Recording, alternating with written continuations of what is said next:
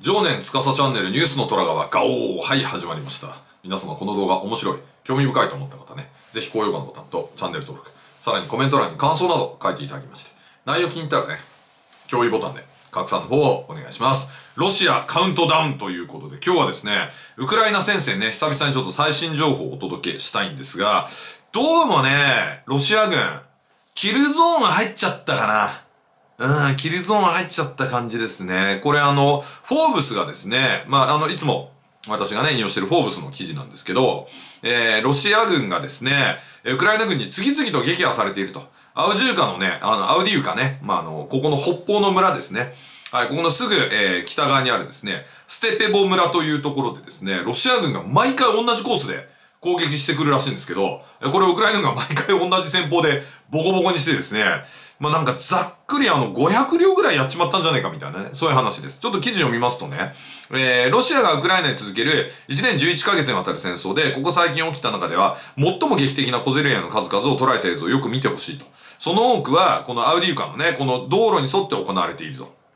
で、ロシア軍は、この道路を経由して戦車や戦闘車両をステーポベに投入し、ウクライナ軍の待ち伏せを受けていると。えー、2両の、えー、アメリカ製 M2 ブラッドレー歩兵戦闘車が、ロシア軍の T91 両と相まみえ、え、機関砲で、えー、25ミリ弾を合わせて、浴びせて、T90 を撃破と、いつか、装甲車が戦車撃破ですよ。ね。えその際、えー、M2 ブラッドレーはですね、この道を前後に行ったり来たりして、えー、T90 の照準を交わしたと。で、別の戦闘ではですね、M2 が最北の、えー、東西に走る道に沿って進撃し、えー、ウクライナのですね、第109領土防衛隊旅団が、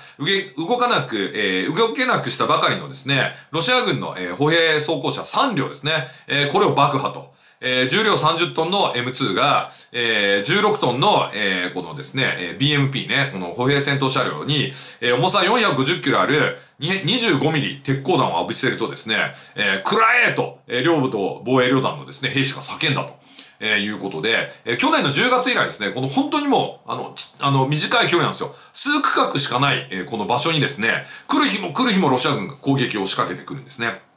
で、攻撃が仕掛けてくるんですけど、ほとんど前進ができてないと。ね。で、これは当たり前なんですけど、防御側の方が有利ですよね。やられない場所にいて撃つわけですから。逆に言うとですね、ここの道路、キルゾーンになってるんじゃねえかということで、ちょっと私を監修してくれてるですね、専門家にも聞いてみました。これすごくないですかと。あ、で、ちなみにですね、このキルゾーンね、あの、キルレシオといってですね、ウクライナ兵1人に対してロシア兵何人やられてるかっていうので言うと、1対13ぐらいの割合で、ロシア軍フルボッコになってるらしいんですよ。はい。で、これどうですかと聞いたらですね、もうあの、ジョージさんの見解合ってますと。ね、専門家から言われました。これもう完全にキルゾーンですと。ただ、キルゾーンなんだけど、まあ、攻撃をやめな、やめないですね、と、ロシア。で、そこで僕はちょっとね、質問したんですね。ロシア側じゃ逆にね、消耗してももう十分なね、物量補充があるから大丈夫と。そういう見積もりで、あの、いわゆるゾンビアタックかけてきてるんですかというふうに聞いたんですけれども、えー、私を監修してくれているね、専門家曰く、そこはね、ちょっと不明だそうです。不明なんですが、そろそろ走行兵力は、まあ、あの、走行つくかなと、えいうふうに見てるそうです。まあ、せいぜい年内いっぱいかなと。で、ウクライナはですね、実はもうなんか作戦変えたみたいです。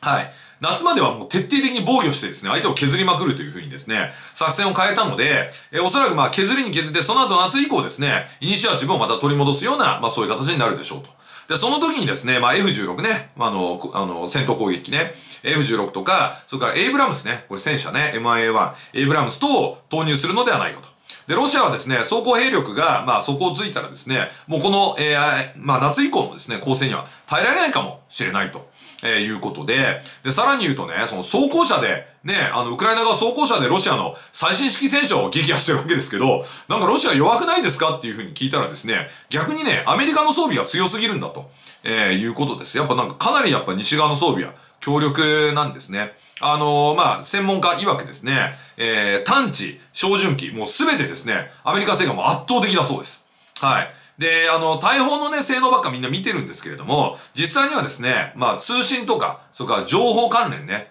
ここがですね、まあ一番大きいんですよ。はい。あの、要はその、強力な武器積んでてもですね、当たんなきゃ意味ないでしょ？ね。これ、シャアですよ、シャア。ね。ええー、当たらなければどうということはないって世界なんですよ。本当に当たんないんです。はい。当たらなければもう全然関係ないと。まあ、これはね、湾岸戦争からね、あの、この教訓っていうのは実は明らかでして、はい、あの、実はまあ、ソ連製の兵器は弱いと。えー、いうことはですね、まあ、前から言われていたと、えー、いうことですで、ちなみにですね、あの、中国製の兵器も、あの、基本はロシア製兵器のね、コピーなんで、まあ、そんな大したことないですと、えー、いうふうに専門家は言っております。で、ちなみにですね、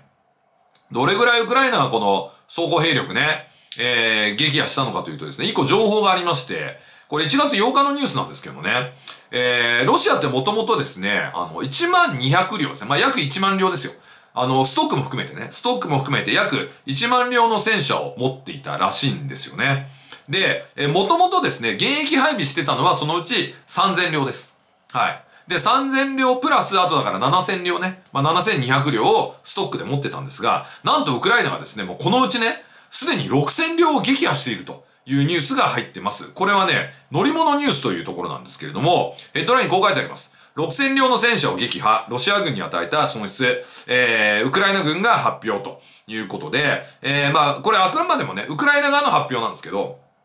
2月24日以降ですね、1年10ヶ月の間に戦車6002両、えー、戦闘装甲車11,128両、えー、火砲ですね、えー、自走砲を含むですけれども、8574門ですね、多連装ロケットシステムをですね、えー、947門、えー、ドローンを6753機、軍用ジェット機329機、ヘリコプター324機、えー、各種艦艇23隻、潜水艦1隻、そして、えー、人員ね、えー、まあ、ロシア側の、えー、戦闘損失ですね。まあ、人の損失は36万人と、えー、いうのを発表しました。で、これはですね、えー、まあ、他にもいろんな見方があってね、例えばイギリスの、国際戦略研究所 IISS というところの発表だとですね、えー、まあ、これ大体まあ、これぐらいでしょうということだそうです。で、えー、ここはね、えー、ここが言うには、その元々のストックが1万200両と。で、その3分の2近い数がですね、まあ2年足らずで失われたと、えー、いうことですので、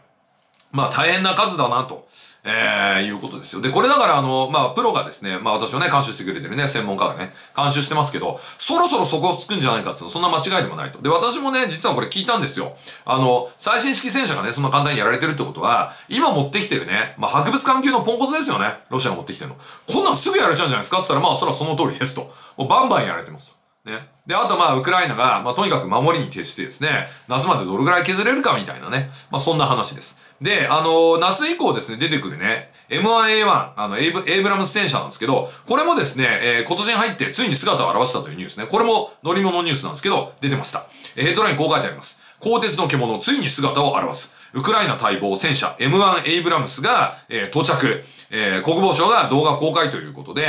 えー、アメリカから供与された M1A1、A1、エイブラムス戦車の動画を1月7日にですね、えー、ツイッターで公開したと。えー、まあこの、えー、演習ですよね。まあ一応ね、演習場でこう、あの、泥道の中をこう蛇行するね、えー、そういう姿が映されたと。で、これまあ最新シリーズである M1A2 をウクライナに供与する予定だったんですが、まあちょっと供与に時間かかったんで、予備保管されてたものね、M1A1 の方を渡したと。で、今31両が、えー、ウクライナに供与されることが決まっており、えー、回収によってですね、もう限りなく M1A2 に近いですね、性能がまあ付与されていると、えー、いうことです。で、まあドイツなので訓練を受けてですね、まあついに実戦投入されると。まあ、装甲戦力がね、まあ、ロシア非常に厳しい状態で、まあ、こういう最新式の戦車入ってくるとですね、まあ、これはもう、ね、何が起こるかは、ね、もう、えー、目に見えて明らかかなと、えー、いうふうに思います。まあこれ陸戦においてのね、話ですけれども、あの、航空兵力の方もですね、先日あの、早期警戒管制機落ちましたよね。あれがね、やっぱね、相当な穴になっていると。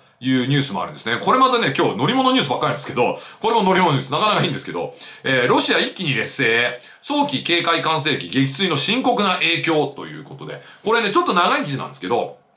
簡単に言うとね、レーダーってさ、地上にあるとね、こう地球って丸いから、そんな遠くまで見えないんですよ。はい。でも、早期警戒管制機って、すごい高いとこでしょ ?1 万メートルとかでしょ？だから結構遠くまで見えんのね。はい。なので、とても便利だったんです。で、かつてですね、その A50 ね、ロシアの早期警戒管制機飛んでる時は、もうほぼウクライナ全土見えたんですよ、あそこから。なんでウクライナ側も航空優勢取れないし、で、ロシア側もね、ロシあの、えー、ウクライナのレーダー見られてるんで、お互いに航空優勢取れないっていう状態だったんです。ね。ところが、まあ、今回、撃ち落とされちゃったでしょで、もう一機失うともう、あのー、体制完全に穴開いちゃうので、絶対に次の、えー、まあね、代わりに出す A50 は失えない、失えないらしいんです。そうすると、あんまり近く飛べないんですよね。はい。だいぶ下がって飛ばないといけない。ただでさえ100キロ離れて飛んでたんですけど、もう100キロ後退するとですね、単純にそのレーダーが見える範囲が100キロ後退したんですよ。そうするとね、これね、あの、ウクライナ100キロ前出てこれますからね。はい。で、そこにですね、ね、あの、F16 来ちゃうわけですよ。ね、なんで非常に大変なことになるんじゃないかという記事ですね。はい、まあちょっと細かく言うとですね、えー、今回の A50 撃墜が、えー、この戦争にすぐさま影響を与えるとは考えにくいですが、ウクライナ周辺の低空域における航空優勢、つまり制空権の掌握において、ロシア側が不利になる可能性は多分にありますと。いうことで、まあ、さっきのレーダーの話ね、遠くまでね、見えないよと。後ろに下がったら遠くまで見えないよと。ね。そもそも飛んでなかったら全然見えねえよっていう話ですね。はい。で、えー、まあこれね、早期警戒管制機は高い位置から見下ろすことによって、まあその、ね、地平線問題を解決すると。高度 1, 1万メートル飛行すれば、えー、水平線の位置を378キロ、えー、先へ追いやることができると。え、つまり、え、ロシア側はウクライナ本土を、えー、の低空をもっぱら A50 の、えー、監視に頼ってですね、まあ見ていたと。え、いうことです。で、ロシア空軍はですね、これ以上の A50 の損失を防ぐために、今後はですね、同機を戦線よりも後方へと下げてパトロールさせるでしょうと。仮に現在よりも100キロ後方に下げたとすると、ロシア側は、まあ、100キロのですね、えー、低空監視区域を失ってしまうと。いうことです。で、さらにですね、あの、監視だけでなくてね、攻撃能力も低下するということなんですね。これなんでかというと、あの、S400 というね、カタログスペック上はですね、パトリオットよりも上と、ね、言われていた、まあ、実は全然違うんですけど、えー、これがですね、あの、やっぱレーダーダメらしくて、あの、この A50 からの情報で結構その迎撃をしていたんですね。はい。S50 は自前の射撃レーダーでは、地球の丸みに関する問題から、低空を飛ぶ飛行機を照準することができずと。ね、ミサイルの最大性能を発揮するためには、A50 のレーダー支援が必須と。で、これもし下がったらですね、S400 カバーできる範囲も減ると。ね。で、この F16 はですね、まあ割と低空飛んできますからね。はい。で、さらに言うとですね、今その、ロシアのほら、あの、国会艦隊司令部とかもやられたああいうストームシャドウみたいなね、巡航ミサイルね。巡航ミサイルも割と低空で来るので、これ S400 が防げねえんじゃねえかと。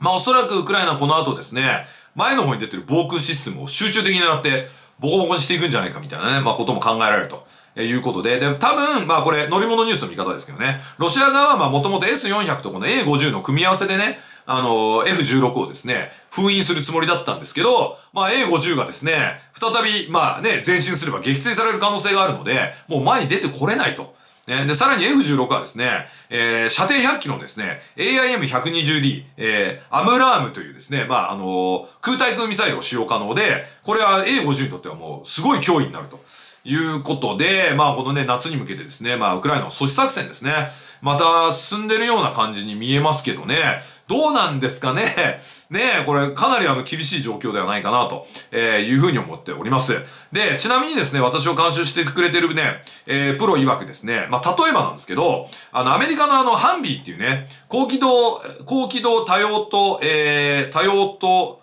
えー、総、総輪車両か。ね、ごめんなさい、ちょっと難しいですけど、ハンビーってありますよね。まあ、あの、ジープのすげえやつみたいなね。あれもですね、ガラスがですね、防弾ガラスなんですよね。はい。なので、あのー、その兵器はやられても、中の人はその、亡くならないと。いうような仕様になってるんですよ。で、さっきのアウディウカでも、ロシア側の戦車はですね、まあ、500両、500両ぐらいやられて、まあ、中に乗ってる人ほとんどお亡くなりになってると思うんですけど、ウクライナ側はですね、それに対して37両ぐらいしかやられてないのね。30、30数両ね。で、おそらく、まあ、西側の装備なんで、乗ってた人もね、まあ、あの、まあ、最小限の、まあ、犠牲で済んでるのかなと。えー、いうことなどをですね、まあ、もろもろ考えるとですね、まあ、これロシア軍相当きついなと。まあ、聖兵はとっくに失いですね、えー、その後ですね、まあ、えー、どういうふうにね、これ、補充してんのかと。まあ、素人同然の人にね、まあ、しょぼい武器を渡して突っ込ませてるだけと、えー、いうふうにも言われてますけれども、これはですね、まあ、夏までね、まあ、プーチンがまたね、ほら、選挙あるから、この、無謀な構成かけざるを得ないっていうところもあるんでしょうけど、まあ、この政治的なね、まあ、あの、バフムトと同じですよ。あの、バフムトの時のような今、まあ、政治的な状況を利用してですね、まあ、ウクライナ側がですね、まあ、削りに削ってね、阻止作戦を続けているということです。えー、さらに言うとですね、まあ、ロシアのね、あの、後方にある目標をですね、まあ、かなりあの、ウクライナ軍が撃破していると。えー、いう話でね。まあ、最近特にまたこういう、えー、阻止作戦のね、様相を非常に強めてきているので、まあ、夏以降ね、まあ、夏までとりあえずウクライナ耐えるという方針ですので、まあ、これね、えー、このウクライナの、えー、飛んで火にいる、このね、キルゾーンにですね、ロシアがもうホイホイ行かざるを得ないという今ね、政治的な状況でも、本当悲惨だなと、えー、いうふうに思いました。まあ、いずれにしてもですね、えー、夏以降のえー、次の第2次、第2次ですね。第2次反転構成にね、ぜひ期待したいなと、えー、いうふうに思ってます。まあ、航空戦力来ればね、地雷の突破も簡単になると思いますのでね、えー、ぜひやってほしいなと思っております。ということで、今日の内容面白い、興味深いと思った方、ぜひ高評価のボタンと、チャンネル登録、さらにコメント欄に感想など書いていただきまして、内容気に入ったらね、拡散ボタンで、共有ボタンでね、拡散の方お願いします。最後に、えー、この動画特に、えー、応援したい、ね、私のこと特に応援したいという方はね、Thanks ボタンと、私のやってるオンラインサロン、八重洲イブニングラボの方よろしくお願いします。最後までご覧いただきまして、ありがとうございましたガオー